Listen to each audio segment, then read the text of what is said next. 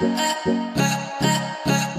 दबंग कानपुर वालों ने कर दी बांग्लादेशी फ़ैन की बेदर्दी से पिटाई तो सदमे में आज पूरा क्रिकेट जगत। यहाँ तक कि दुनिया भर के बड़े बड़े दिग्गजों केविन पीटरसन से लेकर रिकी पॉन्टिंग, यहाँ तक कि शोएब अख्तर और सचिन तेंदुलकर भी भड़क गए और अब दोषियों को सख्त से सख्त सजा देने की डिमांड करते हुए उन्होंने जो कहा, अपने बयान से तो हर किसी को हैरान कर दिया। तो आखिरकार क्या है पूरा मामला? क्या कुछ इन महान दिग्गज खिलाड़ियों का उस फ़ैन की पिटाई पर रिएक्शन रहा? उन सब के बयान तो हम आपको ज़रूर दिखाएँगे ही, लेकिन उससे पहले आप इस हरकत पर क्या कहना चाहते हैं? अपनी राय हमें नीचे कमेंट करके ज़रूर बताइएगा।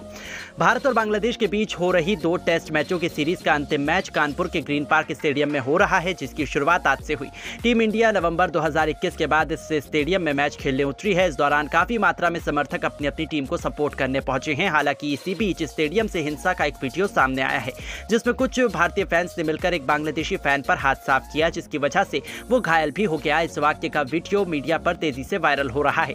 दरअसल ये घटना ढाका के रहने वाले फ़ैन टाइगर बॉबी के साथ घटी जो बांग्लादेशी टीम के फ़ेमस समर्थक हैं। कानपुर स्टेडियम में भी वो टीम का हौसला बढ़ाने के लिए स्टैंड्स में मौजूद रहे। हालाँकि इस दौरान उनकी झड़प कुछ भारतीय फैंस के साथ हुई। रिपोर्ट्स की माने तो भारतीय फैंस ने मिलकर रॉबी को धक्का दिया और उससे बांग्लादेश का झंडा भी छीन लिया। इस दौरान जब उन्होंने विरोध करना चाहा तो इंडियन समर्थकों ने उनकी धुनाई कर दी। इस मामले को शांत करवाने के लिए अन्य लोगों को बीच में आना पड़ा। फिर स्टेडियम में मौजूद पुलिस भी पहुँची और उन्होंने रॉबी को दर्द से करहाते हुए देखा, जिसके बाद फ़ैन को अस्पताल ले जाया गया। हालाँकि रॉबी को कोई गंभीर चोट लगी है या नहीं, इसके बारे में जानकारी अभी सामने नहीं आई है। लेकिन भारत में हुई इस हरकत को देखकर क्रिकेट जगत दंग। यहाँ तक कि दुनिया भर के दिग्गजों ने गुस्से से आग बबूला होकर हैरान कर देने वाला बयान दिया है। खुद God of cricket Sachin Tendulkar से लेकर रिकी पॉन्टिंग, यहाँ तक कि केविन पीटरसन और पाकिस्तान के खतरनाक गेंदबाज शोएब अख्तर ने बयान दिया है। तो चलिए, अब हम आपको सुनवा। God of cricket Sachin Tendulkar ने बयान देते हुए कहा कि बांग्लादेशी फैंस के साथ जो कुछ भी हुआ, वो बेहद गलत है। मैं इसके खिलाफ खुद खड़ा हूँ। किसी टीम के फ़ैन के साथ ऐसा बिल्कुल भी नहीं करना चाहिए। ये सिक्योरिटी की लापरवाही की वजह से शर्मसार घटना हुई है, जिसकी वजह से मैं खुद माफ़ी माँगता हूँ। हम उम्मीद करते हैं कि आगे से ऐसी कोई गलती हमारे देश में नहीं होगी, किसी भी खिलाड़ी या कि फिर किसी फ़ैन को चोट नहीं आएगी। मुझे अपने देश और सिक्योरिटी पर पूरा भरोसा है। जल्द से जल्द उन लोगों की कार्रवाई होगी जिन्होंने बांग्लादेशी फ़ैन को पीटा है। वहीं ऑस्ट्रेलिया के पूर्व दिग्गज खिलाड़ी और कप्तान रिकी पॉन्टिंग ने भी बयान देते हुए कहा है कि भारत जैसे देश में ऐसी घटना निकलकर सामने आना बेहद ही शर्मनाक बात है। मैं इंडिया में काफ़ी वक्त बिताया। हमने आज तक ऐसा नहीं देखा था, लेकिन कानपुर की जनता ने जो किया, हर किसी को हैरान कर दिया। जल्द से जल्द सरकार को उन विद्रोहियों पर कार्रवाई करनी चाहिए जिन्होंने मासूम फ़ैन को पीटा है। उन्हें जल्द जेल भेजना चाहिए, ऐसे लोगों पर सख्त कार्रवाई हो। वही गुस्से से आग बबूला होकर शोएब अख्तर ने कहा कि शर्म करो भारत, दूसरे पर इल्ज़ाम लगाने से पहले खुद को देख लो, तुम्हारा देश कौन सा बड़ा सुरक्षित है? मासूम फैंस को लोगों ने पीट दिया, कितनी शर्मनाक बात है चलते चलते ऐसे लोगों पर कार्रवाई करनी चाहिए। ये जानलेवा हमला है, अभी किसी को पीटा गया है, कल किसी का मर्डर कर दिया जाएगा। अब हमारी टीम कभी नहीं आएगी, भारत हमारी सिक्योरिटी पर हमेशा उंगली उठाता है, अब खुद की सिक्योरिटी कहाँ गई? वही इंग्लैंड के सबसे खतरनाक खिलाड़ी केविन पीटरसन ने भी बयान देते हुए कहा है कि भारत जैसे देश में ऐसी घटना सुनकर मुझे काफ़ी दुख हुआ। हमें वहाँ काफ़ी प्यार मिलता है, लेकिन जिस तरह से वहाँ की जनता ने बांग्लादेश फैंस के साथ व्यवहार किया, वो बिल्कुल भी गलत है। मुझे तो अपनी आँखों पर भरोसा नहीं हो पा रहा है। मुझे कहीं ना कहीं उस बांग्लादेशी फ़ैन की भी गलती लग रही है। कोई किसी को झूठ में क्यों ही पीट सकता है? तो दोस्तों, देखा आपने कैसे गुस्से से लाल पीले होकर दुनिया भर के दिग्गजों ने बयान दे दिया, लेकिन दोस्तों, अब आपको क्या लगता है, इस मामले में सख्त कार्रवाई होनी चाहिए या नहीं? नीचे कमेंट करके अपनी राय ज़रूर बताइएगा और ऐसी ही शानदार खबरों के लिए हमारे चैनल को ज़रूर सब्सक्राइब करें। धन्यवाद। रोहित शर्मा ने दूसरे टेस्ट मैच में मचा दिया हाहाकार।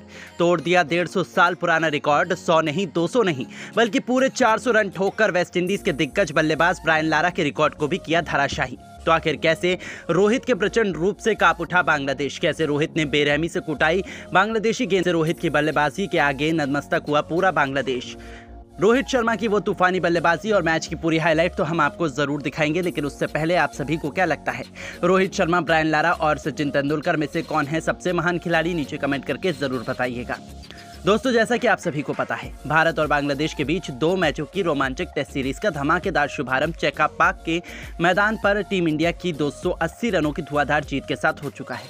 इसके बाद ये कारवा बढ़ चला है उत्तर प्रदेश के कानपुर शहर के ग्रीन पार्क स्टेडियम में, जहाँ दूसरे टेस्ट मैच का बिगुल बजाने के साथ साथ भारतीय टीम के कप्तान रोहित शर्मा ने टॉस जीतकर पहले बल्लेबाजी करने का फैसला किया।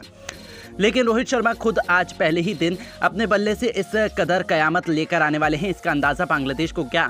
खुद रोहित शर्मा और भारतीय खिलाड़ियों को भी तनिक भी नहीं था। आपको बता दें, इस मैच में रोहित शर्मा ने तूफानी बल्लेबाजी करते हुए पहली ही गेंद पर चौके के साथ में अपना खाता खोला और बता दिया कि आज इसी अंदाज से वो तूफानी बल्लेबाजी करने वाले हैं और ये बल्लेबाजी इसी तरह से दिखने वाली है। हालाँकि ये तो सिर्फ़ शुरुआत थी।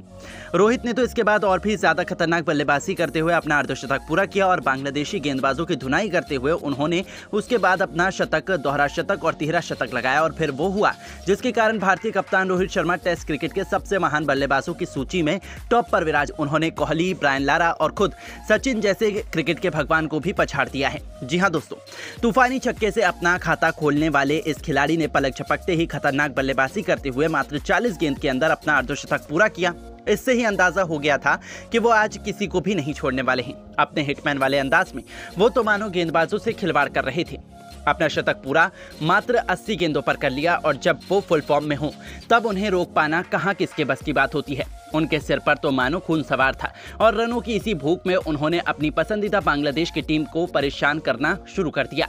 यहाँ पर उन्होंने विरोधी टीम के गेंदबाज हसन महमूद के खिलाफ लगातार तीन गेंद पर तीन चौके लगाने के साथ अपना डेढ़ रन का आंकड़ा पार मात्र 120 गेंदों पर कर लिया और डेढ़ गेंद के अंदर अपना दोहरा शतक पूरा करते हुए सभी को हैरान, परेशान कर दिया। जहाँ पर उन्होंने अपना दोहरा शतक अपने मन पसंदीदा पुल शॉट के ज़रिए गेंद को स्टेडियम के पार मारकर पूरा किया, जिस पर खुद कोहली गंभीर से लेकर पूरे स्टेडियम ने खड़े होकर कप्तान रोहित के सम्मान में खूब तालियाँ बजाई और आखिर हो भी क्यों ना?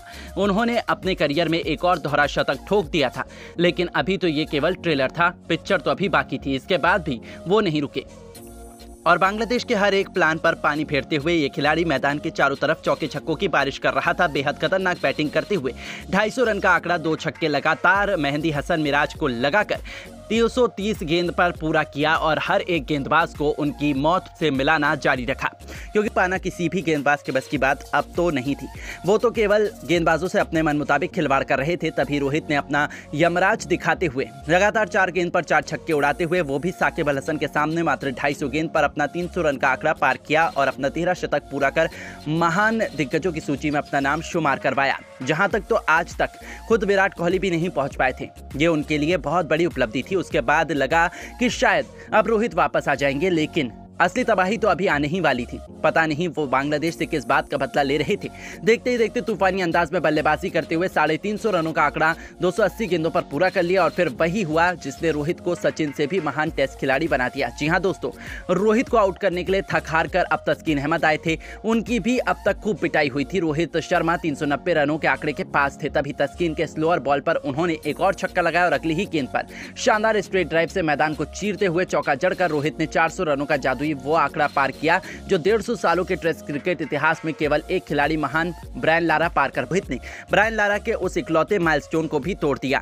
उस इकलौते माइलस्टोन को तोड़ते हुए, जिसे तोड़ पाना बहुत मुश्किल था, किसी के बस की बात नहीं थी, जहाँ उन्होंने अंत तक नाबाद रहते हुए 409 रनों की सुनहरी यादगार पारी खेली। इस दरमियान उनके बल्ले से 24 चौके तो वहीं तो वहीं इस दरमियान उनके बल्ले से 24 छक्के तो वहीं 28 चौके भी निकले थे, जो बांग्लादेश की बर्बादी का जीता जागता सबूत है।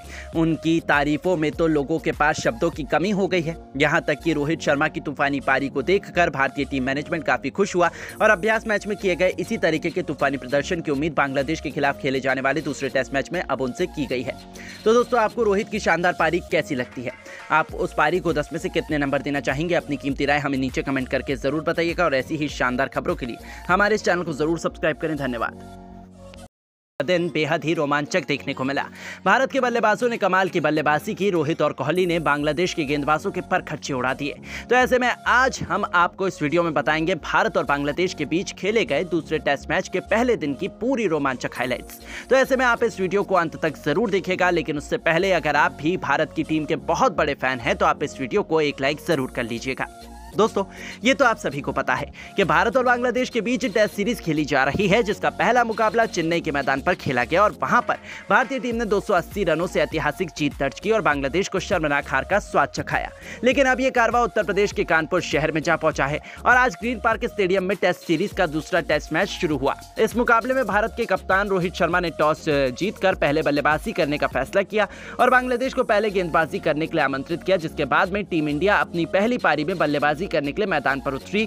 भारत की टीम के लिए पारी की शुरुआत करने के लिए कप्तान रोहित शर्मा के साथ में यशस्वी जायसवाल मैदान पर आए। इन दोनों पर अपनी टीम को एक बेहतरीन शुरुआत दिलवाने की अहम ज़िम्मेदारी थी, जहाँ जायसवाल और रोहित ने शुरू में संभल कर बल्लेबाजी की और धीरे धीरे अपनी टीम की पारी को आगे बढ़ाया। वही इन दोनों ने बांग्लादेश के गेंदबाजों को सम्मान दिया और लाजवाब बल्लेबाजी की। शुरू के 10 ओवर तक बांग्लादेश के गेंदबाजों को काफ़ी मदद मिल रही थी, जिसकी वजह से रोहित शर्मा और यशस्वी जायसवाल को काफ़ी परेशानी भी हो रही थी। पहले 10 ओवर में इन दोनों ने टीम के लिए उनचालीस रन जोड़े, लेकिन उसके बाद तेरहवें ओवर में जायसवाल बड़ा शॉट खेलने के चक्कर में अपना विकेट गवा बैठे और इसी के साथ भारत को पहला बड़ा झटका लग गया, जहाँ जायसवाल ने भारत के लिए उनतीस रन बनाए।